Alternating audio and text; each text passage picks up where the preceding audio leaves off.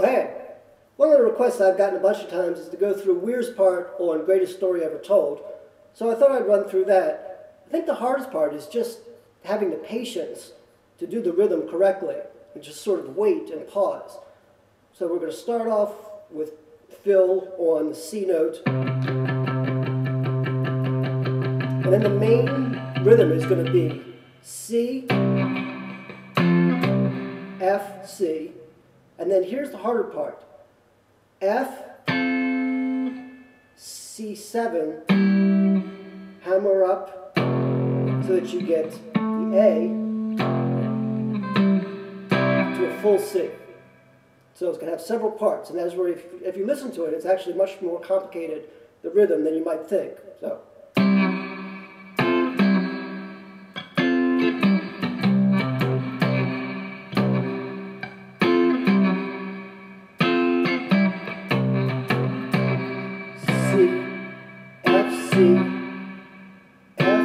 C7. Guess that'd be bringing in the six to the full C.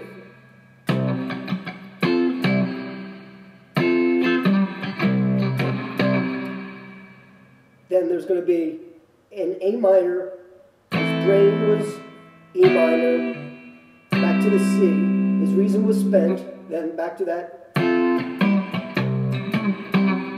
And then we continue again through the verse. Now the chorus is going to be a G, Abraham and Isaac, sitting on the fence, A minor, just fret it up here. Here's your A, here's your A minor. Get back to work if you D, had any chance, D, or fret it like this with the inversion, D, back to our C. One thing you need is a left-handed monkey wrench.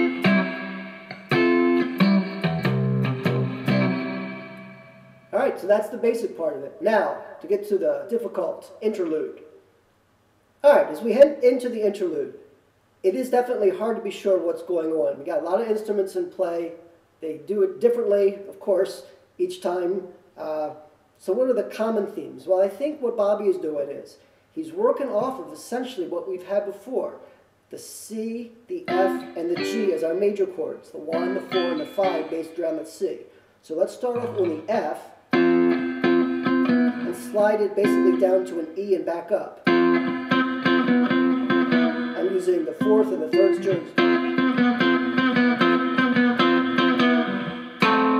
Then this partial chord, A and our C, that would be the way in which you would invert an F chord, the way Bobby likes to invert it.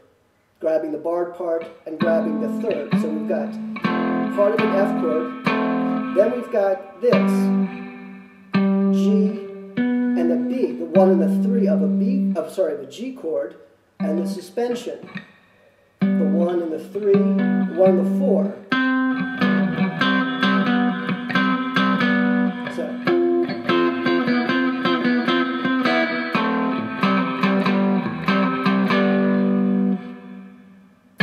Down to a D minor,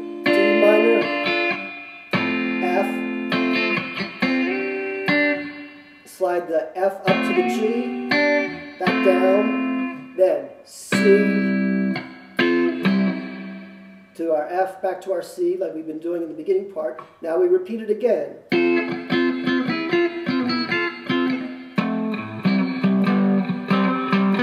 And then here we get this little run. If we're in C, the little scale riff he's going to do is going to be based off of all natural notes. So we're going to have this.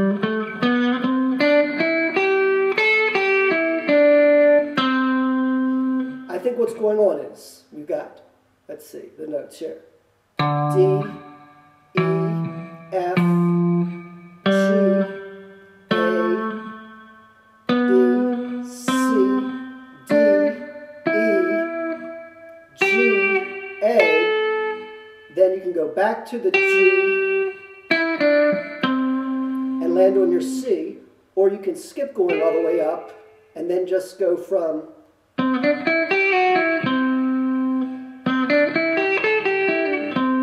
essentially what we're getting is an arpeggio off of the C chord. That's where we want to end up with. An arpeggio off of the C chord, either by doing this way,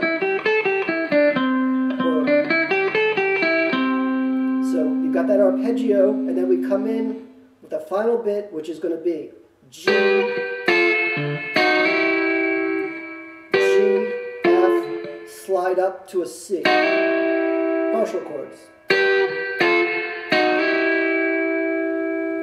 That's it. All right, so let me put those together and then do a little lousy singing, and then we'll come back and talk about a little bit what goes on uh, in some of the earlier versions, say in 72.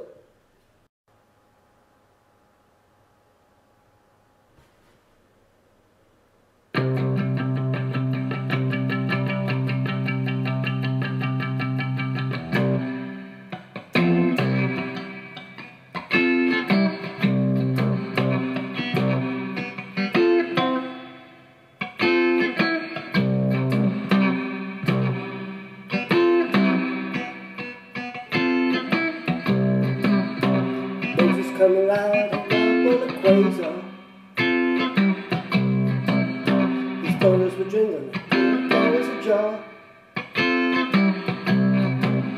His bucket was silver, and it was bold. Asked him to come on out of the cold. His brain was born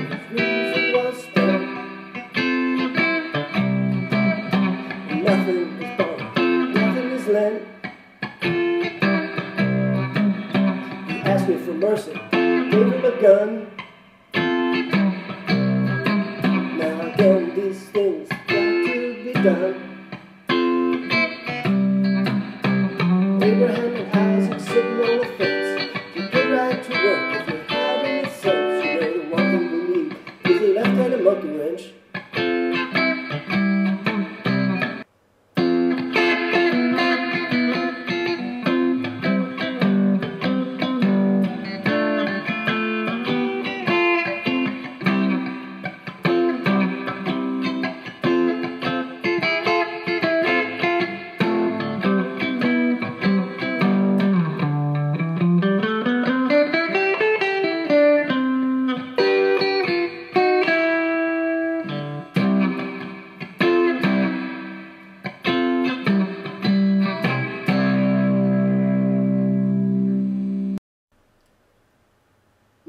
time, when they're going through a sort of extended solo break, the song's never very long, Bobby is just doing what we were doing for the, the basic rhythm part.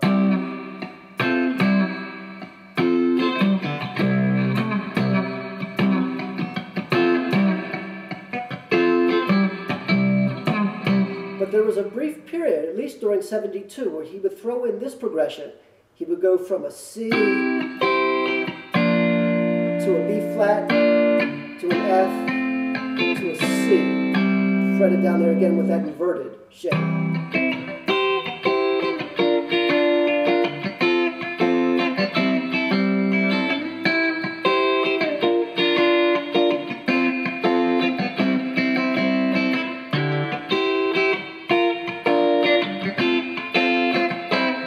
Before returning to the major.